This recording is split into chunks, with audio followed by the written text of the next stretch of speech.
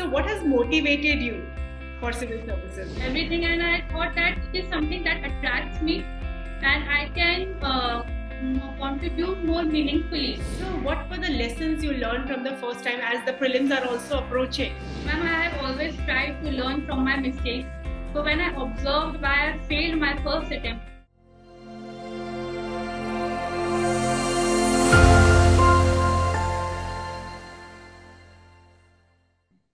good evening, everyone. Today we have Swati Sharma with us, who has secured All India rank 15. Congratulations, Swati, and welcome. And thank you, ma'am. Swati, uh, let me tell you about Swati. She is from Jabalpur, Madhya Pradesh, and this is her third attempt. Am I correct, Swati? Yes. And uh, by profession, she is an engineer, and uh, her optional is sociology. So, Swati, how are you feeling now? Third attempt and such a good rank. Ma'am, I'm feeling very happy and very relaxing, and I think finally at peace. Uh, no more hustle, no more tension and that anxiety uh, that I have been facing for the past four years. कि क्या होगा कैसे होगा clear होगा I think so finally that feeling is not there uh, that is so relaxing okay so क्या होगा कैसे होगा so now everything is settled now अब जो हो रहा अच्छा हुआ और आगे भी अच्छा होगा yes that is so like you are an engineer. How come this uh, dream of becoming a civil servant because i think after your engineering you started the preparation yeah? Uh, i was asking like you like after your engineering i think you started for uh, civil service uh, examination preparation. So what has motivated you for civil services? Was it before engineering or when you came to the engineering college? So how your like dream, like how this dream came to you, and then now you have fulfilled your dream? No, actually, it was during my engineering from second year. Uh, I thought that uh, engineering is not the career that I want to pursue. Uh, that is not something that motivates me, uh, and that will also not provide me self satisfaction. So at that time, I decided that I will switch uh, to some other career. And then uh, I, while exploring careers, I got to know UPSC and the preparation and it's uh, everything. And I thought that it is something that attracts me and I can uh, contribute more meaningfully when I become a civil servant and I can bring a positive change in the society, can influence a lot of lives out there. So that was that motivating factor uh, to pursue civil services for me. But I wanted to dedicate wholeheartedly, so that's why I started my preparation after graduation. So immediately after graduation you started your preparation और जब आप बिल्कुल graduation के बाद तो बहुत जोश होता है कि नहीं अब तो civil services मतलब हमने कर ही लेना first attempt नहीं हुआ second attempt नहीं हुआ third attempt rank 15 but what kept you going through these two three years because first attempt i think uh, prelims was the hurdle in the first attempt. Yeah second attempt uh, mains was the hurdle i suppose or prelims was the hurdle? No ma'am in second attempt i cleared prelims i cleared mains. I have given interview but in the final merit list my name was not there. So that was the issue in the second attempt so, what kept you motivated throughout this? Uh, tell us something about your journey from when you started preparation till today. Uh, I'm the motivating factor to do something, work for the society, to make my parents proud. Uh, that was some motivating factors, and those were the reasons that I started preparation. So, whenever I felt like, okay, it's not happening and I will not be able to do that, these reasons were there with me that no, you have to do it. But just remember why you started. And then everything seems easy. Then you will be motivated and you will work better. You will be focused. So I think the reasons why you started the journey is more important. Yes. So this is what even I keep on telling to the uh, students that see, coming and preparing is one thing, but first thing you should ask yourself, why do you want to come here? Actually, ma'am. Yeah, and that should be very clear to us. I think when why is clear, how because it becomes very easy. Yeah. So I should be clear why. Why I'm doing this, why I'm I'm in it, why I have been doing for the past one, two years. So that's why why is very important. Yeah, why is yeah, where when you have a clear cut why, then how and when is secondary. Yes, yes uh, you are an engineer and your optional is sociology. Yeah, so why did not you go for engineering subjects and you have opted for sociology? my first thing was there. I am a computer science engineering, and the engineering computer science was not there in the options. So first reason is that also, and and also shifting from a technical field to humanities was a tough thing for me. So I was searching for an option uh, that I am interested in, as well as it will be easy for me to learn it, to understand it. And when I uh, go across the syllabus of sociology, I found that uh, it is quite relating. And as a civil servant also, to work in the society. So it's better to understand it and also the material that is available for sociology is very limited. Sociology can be covered in three or three and a half months with dedicated preparation. So that why that's why I chose sociology. Then, uh, like first time prelims was a hurdle. Second time cleared the prelims. So, what were the lessons you learned from the first time as the prelims are also approaching? So, is, was there any trick or anything that you have done uh, that has helped you clear the prelims two times, second attempt, third attempt? Ma'am, I have always tried to learn from my mistakes. So, when I observed why I failed my first attempt, I observed that I haven't done enough practice.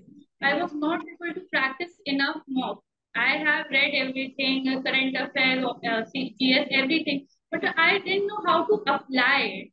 And till the time you don't know how to apply, there's no point of learning everything. You have to know the application part. So I think my for prelims exam practice is very, very important.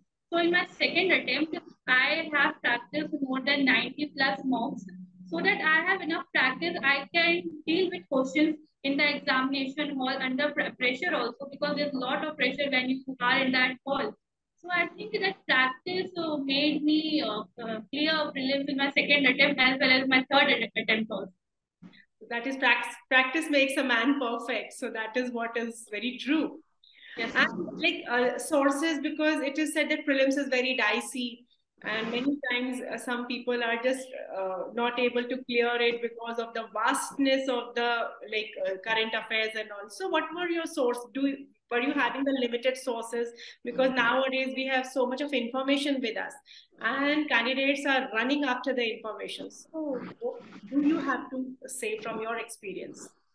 Uh, ma'am, I have also always tried. I have seen the topic because I never had any guidance in my family. There was no one who have pursued it or even thought of civil services UPSC. So I also got inspiration from toppers that I have seen over the years. So I also tried to have limited resources. Uh, I thought that things that I cannot revise, I should not read that because it's waste of time and energy as well. So. I thought that I should read only those things that I can revise in future uh, before my exam. So I believe that you should always keep your resources limited and revise it multiple times so that it, uh, retains with you uh, till the exam day and further also. Okay. And what about your mains? Because you being from an engineering technical background, then when you are writing mains, you have GS 1, 2, 3, 4, except for only some sections. Everything is uh, non-technical, yeah? So uh-huh. how did you prepare for your GS, for your mains, and then how did you prepare for your essay and ethics and all those things? If you could share with us.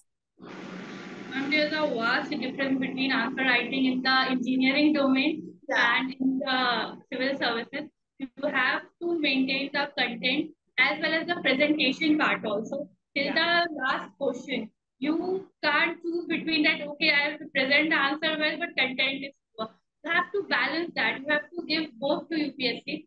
So I try to rely on the facts, figures, flowcharts.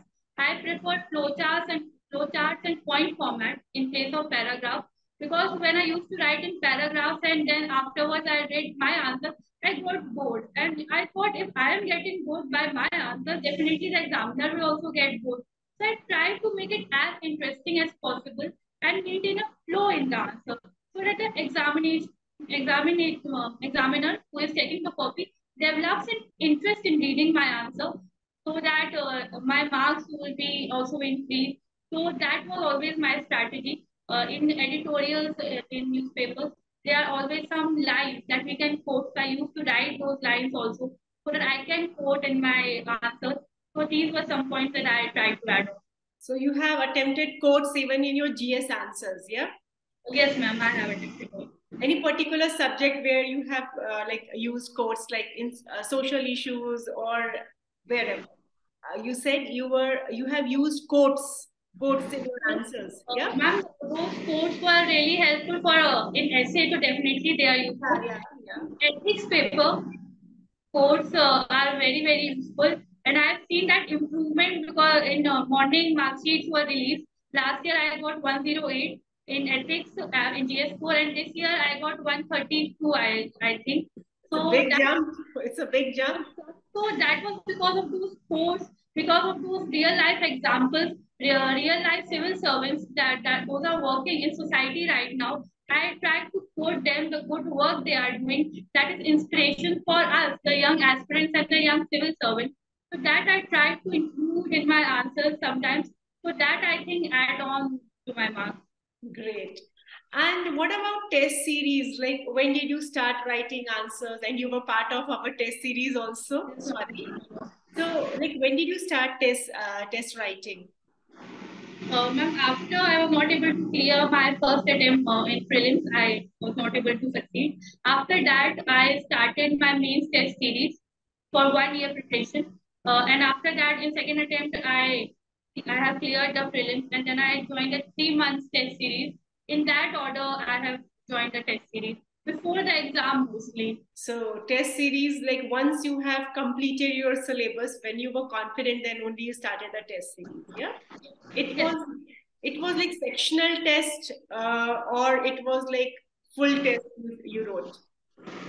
No, uh, in initially I have given sectional test also to check where I am standing and to give it a start and not jumping to the full test series in one go and going by syllabus by syllabus with section and then I have moved to full length series. Great. And then after your mains, the last phase is also very interesting. UPSC, that is personality test. So how was your interview? Could you just share about it? Like who was the chairperson and what kind of questions were being asked? Uh, ma'am Smita Nagaraj ma'am was the chairperson of my uh, interview. Last year also she was the chairperson and this year also. Uh, so the board was very cordial. They made me comfortable. I was the last in that order. Mm -hmm. So I was really nervous. I had to wait a lot. Uh, so they were very cordial. They have calmed me down. And there was very normal conversation. There was no fact-based question. They tried to know my opinion, especially on women's safety as a woman, what I think about the condition of women in the country, the growing cases of violence against women, the safety issues that women in the country face, their financial independence, patriarchy. So that, those were some questions that were part of my interview. And your hobby is like uh, physical fitness and dancing and all. Were there questions from your hobby section also? Uh, no, ma'am. There were no, no question from my hobby part. It was only opinion-based question, random question. So how many marks uh, have you got in your interview this time and last time? Because it was both was the same, chairperson was the same. Uh, actually, I didn't uh, score good in my interview. This time also, last year I got 151 and this year I got 162. So I don't consider it a good score. But so, overall, if it ends well, it is well. Yeah, so overall you have got through. But yes, board was cordial. Okay. So overall, like uh, you have gone through first, second, and third, three exams. You have three times you have gone through it, and now finally you have reached your destination.